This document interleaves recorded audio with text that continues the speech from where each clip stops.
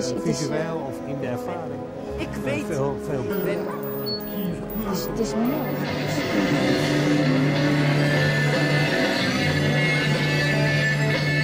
oké, maar Hendricks. Gaat repeteren? Oh, de zoontje gaat repeteren. Ja, jong en oud, alles repeteert hier. Eh, onder andere Out of the Blues. Dat is een jazzclub, een, een, een jazzgroep, vriendenclub. Hartstikke leuk. Die eh, vieren de muziek van Oliver Nelson. En Oliver Nelson die maakte weer onder andere de thema's bij Ironside en bij de man van 6 miljoen van vroeger. Geweldige componist. Dirk de Graaf, Arno Krijgen, Pascal van Meer. Zij hebben hun eigen bandje en zij zijn aan het oefenen voor iets in de doelen. Kom, gaan we met ze praten en kijken.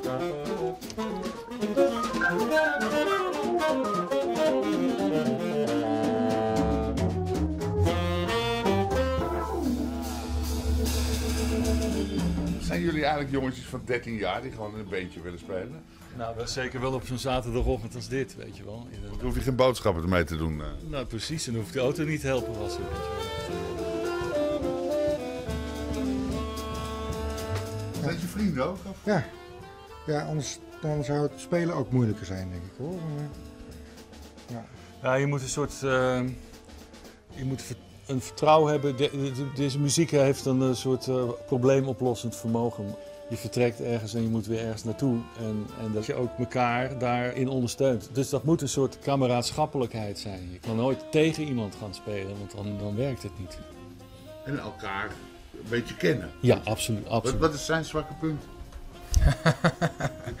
Daar praten wij niet over.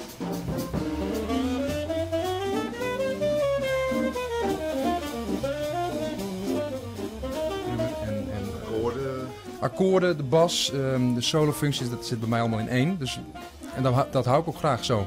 Ja, ik- denk dat dat belangrijk is.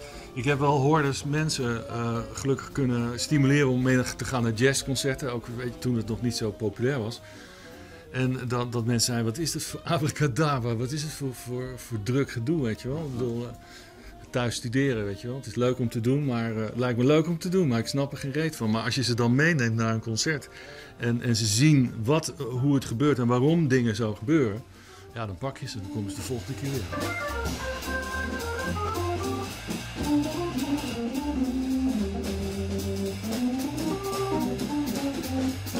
Vrijheid. Daar, daar gaat dit over. Ja, vind ik wel. Ja, als je het gebied goed kent waarin je opereert, dan kan je gewoon vrij rondlopen. Maar binnen dat stuk de mogelijkheid opzoeken om er onderaan te ontstijgen, weet je? Om te zoeken naar de melodie achter de melodie, achter de melodie, achter de melodie. Voor mij als melodiespeler. Nou, zijn sterke punt, hij is melodisch vreselijk eh, begaafd. dat gaat echt alle kanten op. Ja, ik ben- Nou, Zijn sterke van- punt, nou we toch even het slijmen zijn. Ja, fantasie. Hij speelt een instrument waar een hele stevige traditie eh, op zit. Zeker als het gaat om de, de blues-georiënteerde muziek, waar we toch een beetje ons op baseren. hè. Alle stukken die we spelen zijn van dezelfde jazzcomponist Oliver Nelson, die altijd de blues als uitgangspunt had. Dat is een, een, een, een eh, Hammond. Het is een Hammond B zoveel, heet dat? Dus een Hammond A100, maar A100. vergelijkbaar met een Hammond B. Maar- Dat is- maar Dat weet is je- wel een hele apart ding, hè? Ja, Mag ik het even apa- apart ervoor? Jongens, hartstikke bedankt. Nee, we gaan- ik, ik, ik, ik, ik vind dit, laat eens wat horen wat, het, wat dit nou kan. Want soms hoor je dit en dan, dan gebeurt er iets in je buik. Oh, ben ik, ben ik nou verantwoordelijk voor? Nee, maar... Nou, wat, wat eh, eh, Dick had het net over traditie. Traditioneel orgelspel. Beetje bluesachtige. We staan nu in het voorhalletje van de Eduard Flipsenzaal. En dat was echt een voorhalletje. En we hebben er nu wat meer een foyer van gemaakt met een mooie bar en eh, wat andere kleuren. En dat heeft te maken met het feit dat we vanaf eh, september begonnen zijn met een nieuwe concertserie Vrijdag in de Flip. En de directeur eh, doet ook nog wat aan eh, ontwerpwerk, eh, begrijp ik. eh. Nou ja, zo, zo ingewikkeld was het niet. En eh, we moeten op de kleintjes letten. Dus ik, ik- dat schetsen we dan even zelf. Een hele goede timmerman die een half woord genoeg En heeft. deze is ook een trommel die draait. Stil. Als je stil staat is het dit. En dan als je langzaam gaat draaien komt er een beetje zweving in. En snel dan krijg je het meeste effect.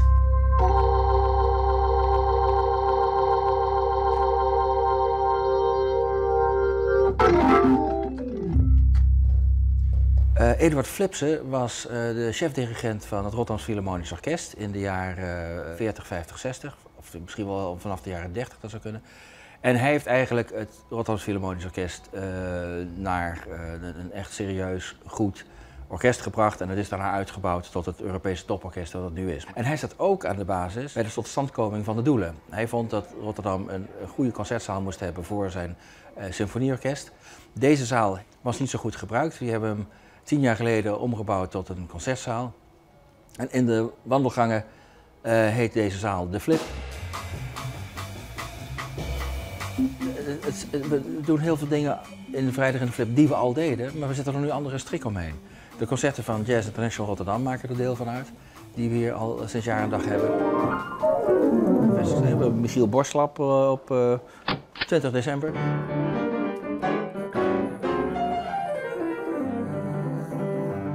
En de aardigheid is dat we aan de muzici gevraagd hebben om één set te spelen.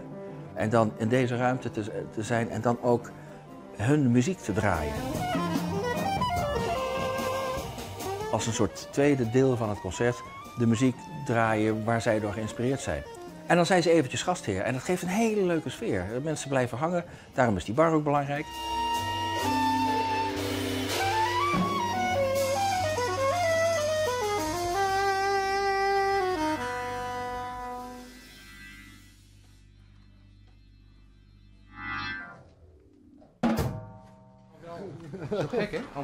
Hè? Anders. Moet je zonder schoenen spelen? Voelt beter, hè? Voelt voor, ja, voelt voor mij beter, ja. Meer gevoel met pedalen. Ja. Lieve, lieve, lieve mensen. Het is weer moois en we gaan naar de opera. Yes! En we gaan, het is herfst. Hoe kan het anders naar het park, het Zuiderpark?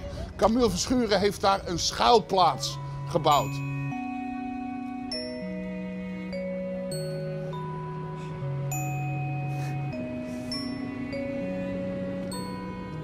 Jouw park ook? Eh, nou, ik ben er wel al heel lang bij betrokken geweest, ja. ja. Maar je neemt wel eens een duikje. Ik neem wel eens een duikje, ja. Dat kan hier. Ja, je kan hier eh, zwemmen, ja. Beter dan in de Kralingsplas. Daar is vaak blauwalg-alarm, maar hier niet. Nou, wat, wat je ziet is eh, de schouwplaats. Dat is eigenlijk een, eh, je zou kunnen zeggen, een, een, een ruimtelijke beeldentuin. Of de aanleiding was eigenlijk dat er eh, een paar jaar geleden een aantal beelden zijn teruggevonden. Die toebehoorden aan het Theater Zuidplein. Wat nu, eh, of aan de Grote Schouwburg, toen de tijd, nu het Theater Zuidplein. De Grote Schouwburg was van Van Ravenstein, net zoals de Diergaarde Blijdorp en het Centraal Station. En hij nodigde vaak kunstenaars uit om nou ja, plastieken eh, te maken in relatie tot zijn gebouwen. Met een soort van, ja, het is geen, eh, maar een soort sprookjesachtigheid eigenlijk in die architectuur. En eh, deze beelden passen daar ook bij. Dat zijn beelden van Heeman en Uiterwaal. Moet ik wegwezen? Nee, nee, tuurlijk niet. Ik dacht dat je ging filmen. Ja, dat doe ik ook. En die hond doet niks voor die blaf alleen maar. Hij blaft. gek van. Dacht Ja, dat doen honden, hè? Ja, maar deze doet wel erg hoor. Wat ben je nou aan het filmen? Mijn hond, oké. Nou, succes. De Grote Schouwburg werd op een gegeven moment niet gesloopt, maar verbouwd. Maar dat was toch wel een behoorlijke ingreep. En veel- eigenlijk alle sculpturen zijn eh, toen van de gevel gehaald, maar nooit meer herplaatst. En ook uiteindelijk zoek geraakt eh, op verschillende plekken in, eh, in Rotterdam en daarbuiten. Eh, een ambtenaar van de deelgemeente heeft die beelden teruggevonden in Vlaardingen op een depot. En ze weer teruggehaald naar Rotterdam. En zo van ja, er moet toch iets mee gebeuren, erfgoed. En toen ben ik benaderd om te kijken wat kan je met die beelden doen en hoe kan je die beelden van een soort nieuwe eh, beleving voorzien. Ik heb eigenlijk een soort nou ja, ruimtelijke opstelling gemaakt, gerefererend aan het toneel. Kijken, gezien worden, een soort ontmoeting met die beelden op verschillende momenten. Een soort plek waar je ook nou ja, waar je kan zitten, maar waar je ook kleinschalige e- evenementen zou kunnen doen eh, in de buitenruimte. Ik heb geprobeerd om die plastieken niet echt te herstellen in een oude eh, situatie. Dat kon ook niet omdat het gebouw natuurlijk er niet meer is, maar ook, ik heb ook, ze hebben ook niet meer gerepareerd. Ik heb ze eigenlijk zo gelaten zoals ze zijn, met een soort verval. Want ze lagen natuurlijk al heel lang buiten. eh, er waren plantjes op gaan groeien en een beetje in verval geraakt. Maar dat is eigenlijk ook de magie van die dingen. En er komt ook nog een, een theaterdoek in eh, wat het beeld laat zien van eh, hoe dus, eh, de Grote Schouwburg er vroeger uit- uitzag en hoe die beelden daarop zijn gekomen. Oude Rotterdammers kennen natuurlijk de beelden ook. Oude Rotterdammers kennen ook de Rozentuin nog. Die is overeind gebleven, althans de locatie is overeind gebleven. Ja, het is wel een soort sokkel voor, voor als, het als, nou, als iedereen dat nou doet, netjes zo in het vak. Hè?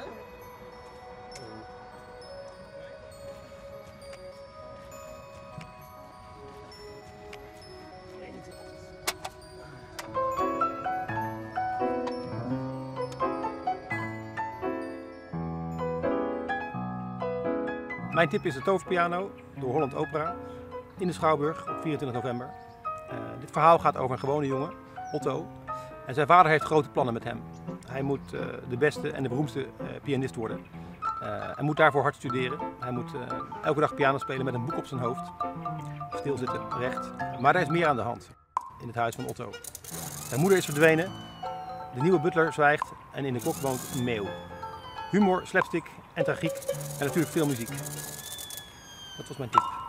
En dan hebben we ook nog dit. Een beeld waar veel te veel mensen gewoon aan voorbij lopen. En het heet Cascade.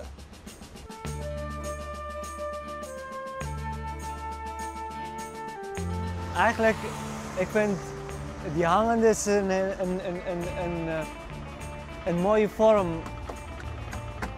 Houdt die? Ja?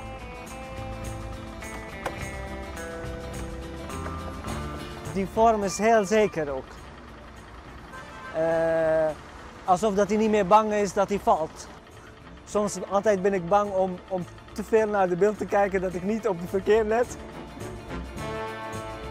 Ik denk alsof dat het, heeft hij gewoon uh, de olievaten zo hup uh, naar beneden laten vallen en dan dit vorm is, is geworden. Maar als je verder echt goed kijkt, dan, dan gaat het echt om het precieze werk. En iedere keer vind ik ook mooi dat je nieuwe details van kan zien.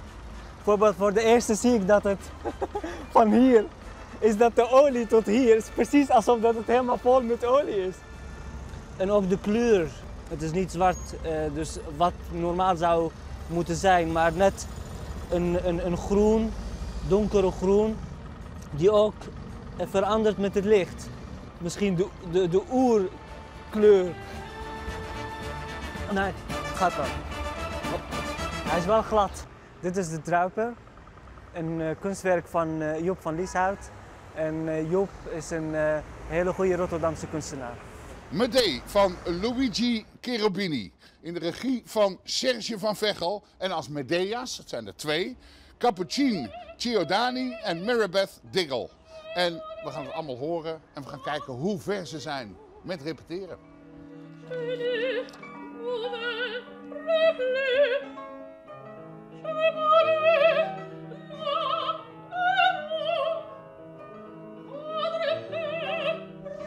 Nou, we gaan uh, maandag gaan we bouwen in het theater, dus uh, het staat wel een beetje al en uh, dan gaan we nu nog mooi maken. Je ziet er heel ontspannen uit, hoe kan dat? Omdat ik het heel leuk vind. nee, het is echt het is geweldig, we hebben zulke goede mensen en ja, dit is toch een beetje een soort droom die uitkomt om zo'n stuk te doen, vind ik. En dat is hier best wel spannend, want het orkest komt erbij, decor, kostuums.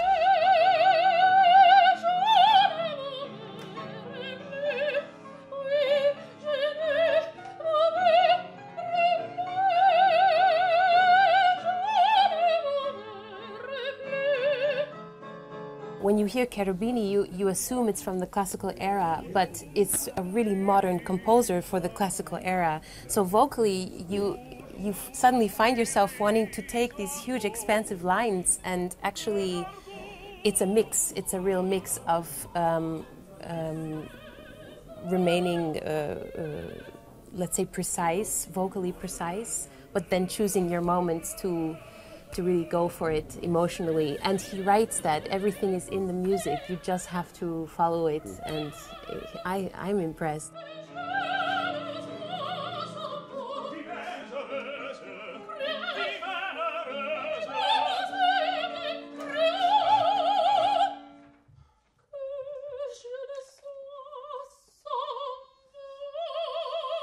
Soms heb je opera's die, die echt nodig hebben om het op een bepaalde manier zo te brengen dat het, dat het tot leven komt. Maar hier niet. Hier is het gewoon, je wordt ingesleurd en dan, en dan gaat het door. En het is ook, wat ook zo mooi is, is dat Cherubini, de componist, die heeft het, uh, die, die, heeft het echt, die heeft al die emoties uit die onder, onderbuik echt verwerkt. Eigenlijk van alle karakters en alle kanten. So it is a very dramatic composer. I think Cherubini was to opera what Beethoven was to symphonic music. So he really opened the doors of the 19th century. And his language, it is very exceptional because it goes sometimes looks to the, to the past. I was telling to the orchestra today, oh, there it comes a little bit of Vivaldi, oh, there comes a little bit of Mozart, but then also there comes a little bit of Berlioz, and then a little bit of Wagner.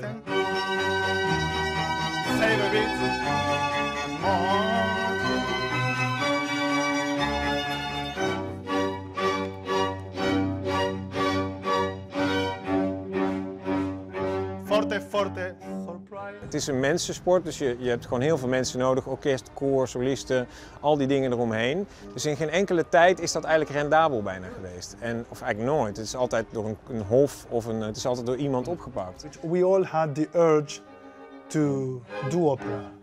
And when you have the urge inside and you connect with people who have the same urge, then you have a big chance to succeed. And even if you are in a difficult time, you find a creative way to making it happen. And for instance, we started in 2007 with no budget at all. Well, we had a 10,000 euros budget for a whole opera, and we were really scared, which was, was too big eh, for us then. And, but, but everyone was working for free. Really, really make it a cat fight with the eyes or something. And she also tried, tries to remain strong. So it's quite difficult actually. But she, so she needs to, to deal with you. Give her your fiery look. Uh, we zijn in uh, 2007 zijn we aan elkaar gekoppeld. Omdat de ene dag, het is letterlijk twee dagen na elkaar, Hernan op zoek was naar een regisseur. En ik als regisseur eigenlijk op zoek was naar iets te regisseren. Toen hebben we eerst de productie gedaan. Dat was een energiebommetje. Toen dachten we, nou daar moeten we meer mee. En ik denk dat wat de, de essentie van het succes is twee dingen. In de eerste plaats, we willen heel erg graag. Dus we zijn vasthoudend tot het einde. En het tweede is, is dat we allebei uh, uh, ook de andere kant leuk vinden. Dus, dus uh, Hernan is heel erg theatraal ingesteld en ik ben totaal ook muzikaal ingesteld. And many times I, you know, ch change a little thing in the music because it's best for the theater, and he changes a little thing on the theater because it's best for the music. So we we create the process together. We also rehearse together. And of course, we have some little fights sometimes, but uh, we, but that's yeah. a good thing because because it really shows that we we know what we want and we at the end always always make it.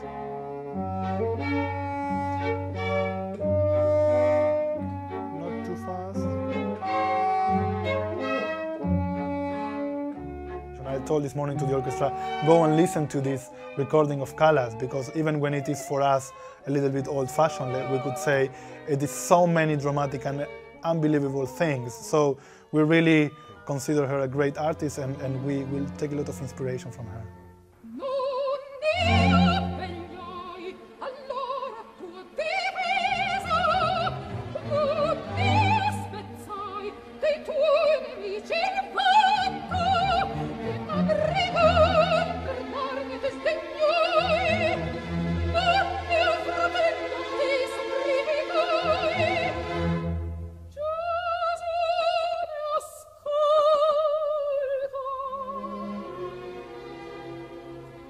Eigenlijk heel bevreesd dat je denkt, ja, Medea is natuurlijk ooit door Callas uh, beroemd gemaakt. Dat is tegelijkertijd de grootste winst en de grootste tragedie van het stuk, want uh, uh, daardoor is het weer bekend geworden eigenlijk enerzijds. En anderzijds, niemand durfde het meer te doen. Dus we waren in eerste instantie al bevreesd om, om een Medea te vinden.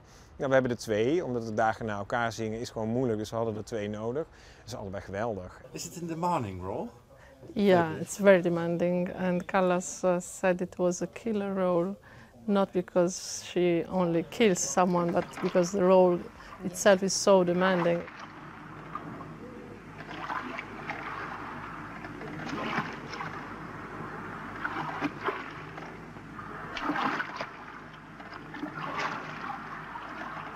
I think it's a fantastic film, but it is almost a, a religious experience or a medita meditative experience, actually, like many Pasolini's uh, movies there's a certain energy between Callas and the camera actually, which is us and the others, that, that is a more ritual experience, more like than a film.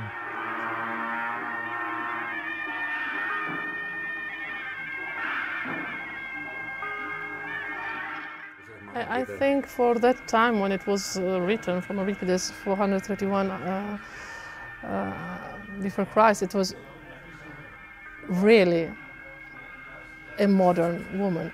It was really the first emancipated woman. It was really wow, something totally new and also a very courageous uh, mm, person who was able and had the courage to break, I think, every possible taboo. We don't write stories for women like that even today. Uh, we're very focused on being a perfect mother and a perfect wife and a perfect figure in society and nobody writes such a such an ugly role and no one dares. Je kunt niet onbewogen blijven bijvoorbeeld bij de finale. Die is, die is zo heftig, het hele orkest ontploft, het koor. Het is allemaal top, top, top, maximaal, weet je wel. En, en dat, dat, dat is alleen al fysiek een ervaring om dat op je af te krijgen. En eh, eh, dat is heerlijk. We are now late in the process and we are more and more uh, trustful that it will be very special.